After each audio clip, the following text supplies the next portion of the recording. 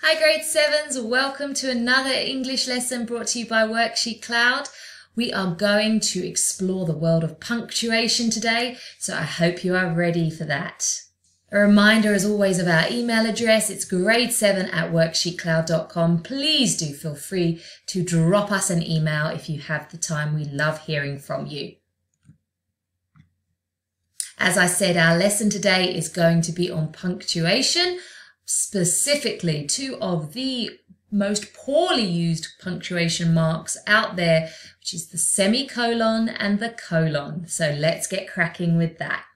So what is a semicolon? Well, a semicolon here, you can see, is made up of a full stop on top of a comma. And that's actually very important because it helps you understand its purpose. So a semicolon is stronger than a comma but not as final as a full stop. It's like a halfway ground between the two. Okay, but when do we use them? So I'm going to show you two pieces of text and I'd like you to read them through. They include semicolons, but used differently. Right, the first, the guest arrived at the party. Tom and Sarah, Paul, who had brought a present, and Christine, James and Lizzie. There was music, food, and drinks on offer. So that's one. And then the other one, I thoroughly enjoyed that book. It was a delight to read. So both of these uh, texts use semicolons correctly, but for different reasons. And let's explore that a bit further. So the first thing you need to know is that a semicolon can be used to separate phrases in a list, as opposed to single words in which we use a comma. So in that first text I gave you, the guests arrive at the party, Tom and Sarah, semicolon, Paul, comma, who had brought a present, semicolon, and Christine, James and Lizzie. Now, in the first sentence, we use the semicolon to break up the items in the list so that we understand how and when things happened. So here, I know that Tom and Sarah arrived together. So they're one party, and I use a semicolon to indicate that. As do Christine, James, and Lizzie, because I have a semicolon there to indicate that they arrived together. Paul was the only person who arrived alone. I use a comma for him, but I do learn that he brought a present. And so this use of a semicolon helps us break up a potentially complex and confusing list, making it easier for the reader to understand. So that's the one way in which we use them. So when we are breaking up a list of phrases. In the second sentence, you might say to me, but well, then why isn't there a semicolon there? When the second sentence, there it also has a list, music, food, and drinks on offer, but they're short very simple, very easy to understand. So I, a comma is enough. I don't need a semicolon. Now, in that second text I gave you, this example here, I thoroughly enjoyed that book. It was a delight to read. We're using a semicolon for a different purpose. So here I have two clauses that are very closely linked. I thoroughly enjoyed that book. It was a delight to read. They're closely linked. This links to this clause, and therefore I can use a semicolon.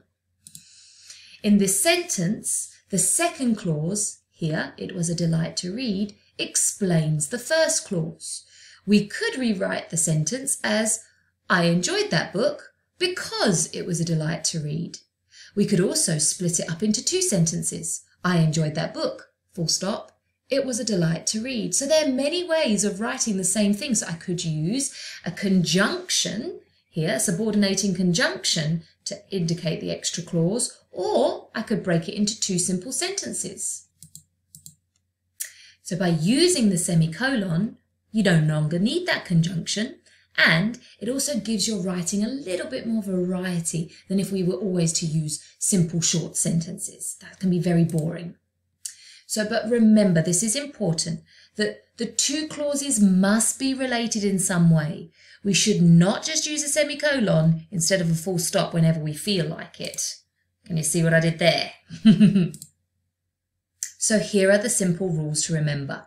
A semicolon shows a relationship between two ideas. We use it to get the reader to think about the relationship, and it is used rather than being very explicit with a conjunction such as because or therefore. Semicolons can be replaced by other punctuation marks like a full stop, you know, if we're joining two clauses, or a comma in a list. And although they really help us to clear up complex lists, there's no occasion when you absolutely have to use a semicolon. Okay, and there's definitely situations when you shouldn't. So often, if you're in doubt, don't, because many people use them incorrectly. So here's when you shouldn't use them. Do not use a semicolon just to replace a full stop or introduce a list or end a sentence. Definitely doesn't end a sentence. But there you can see I've used them here to show a list of phrases.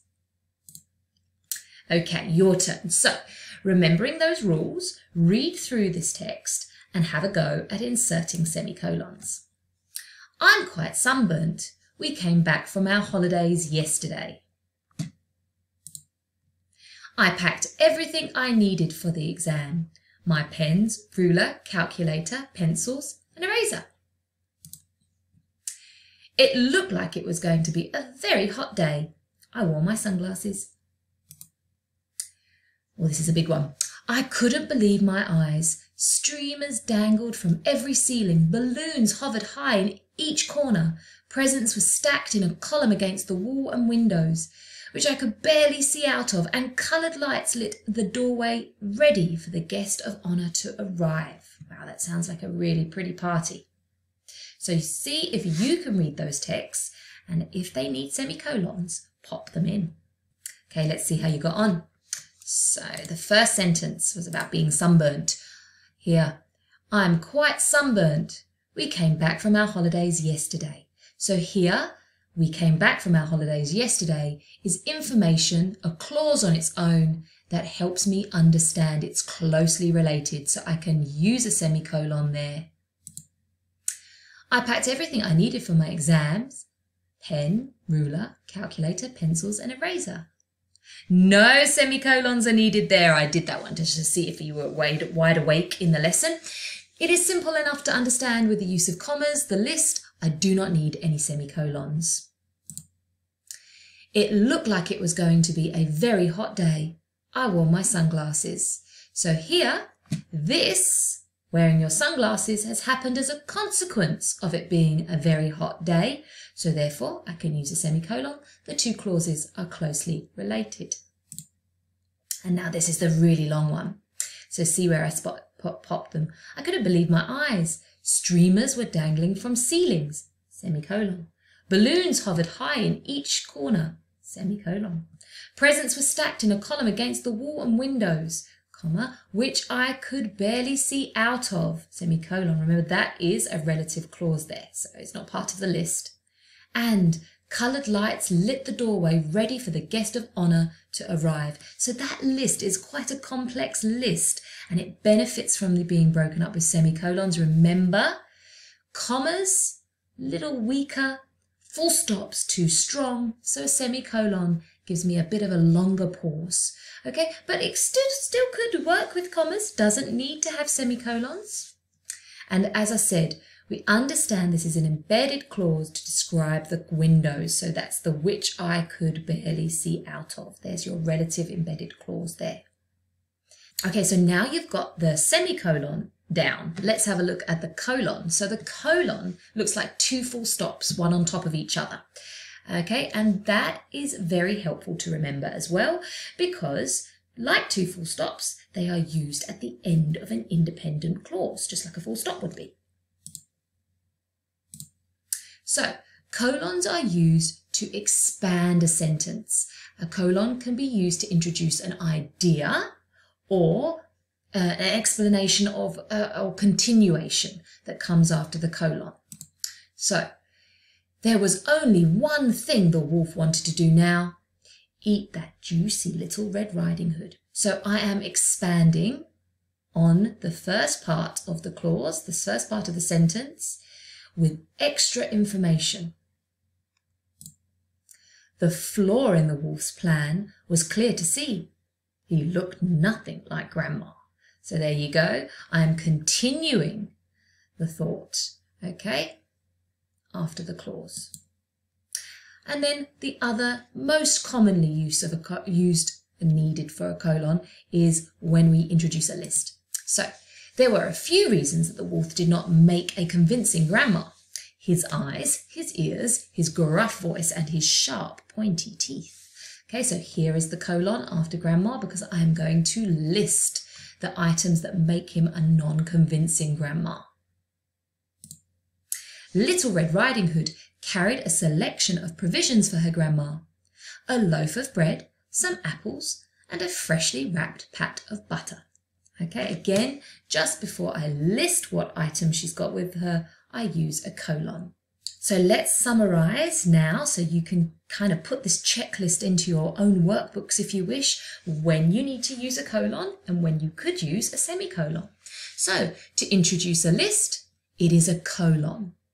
To separate items in a list, remember complex items, usually phrases, I can use a semicolon. To link closely related, uh, related sentences, a semicolon.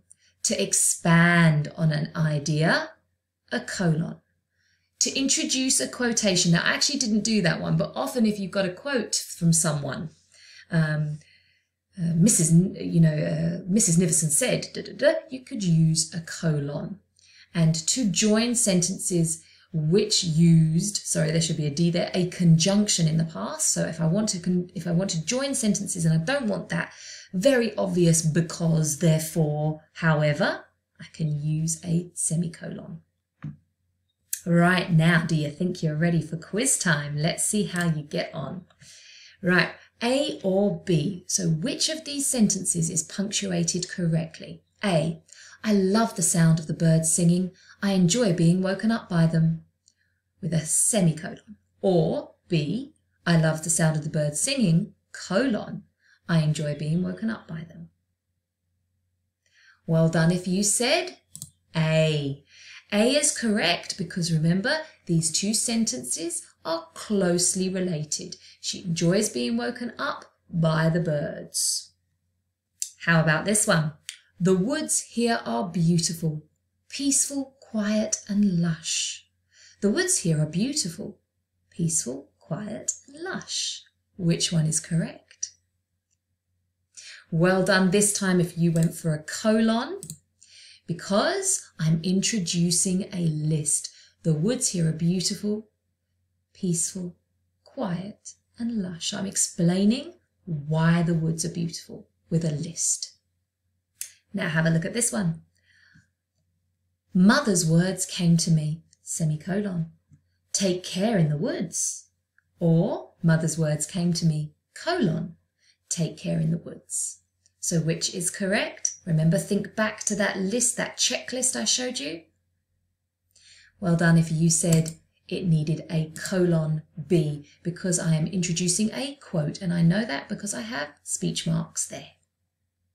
Okay, last one for today then. Let's see how you get on with this one. Little Red Riding Hood took her map with her. It was not very helpful. Or Little Red Riding Hood took her map with her. It was not very helpful. Which one is correct?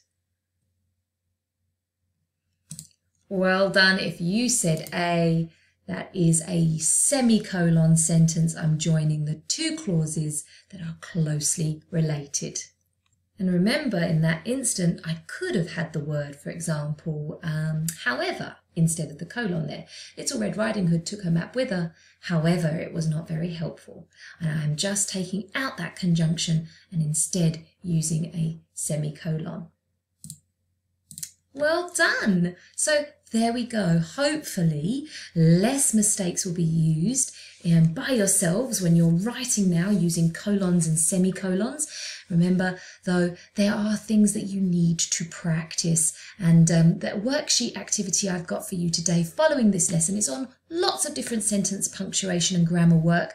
Um, so you may see a few colon, semicolon items in there, but not everything. And it's good to do a good all round revision session. Um, but yeah, I have my husband who is 38 years old still makes mistakes with semicolons, so please don't worry. It's something that we all struggle with. Okay, grade sevens, have a fantastic day, and I look forward to our next lesson together. Bye bye.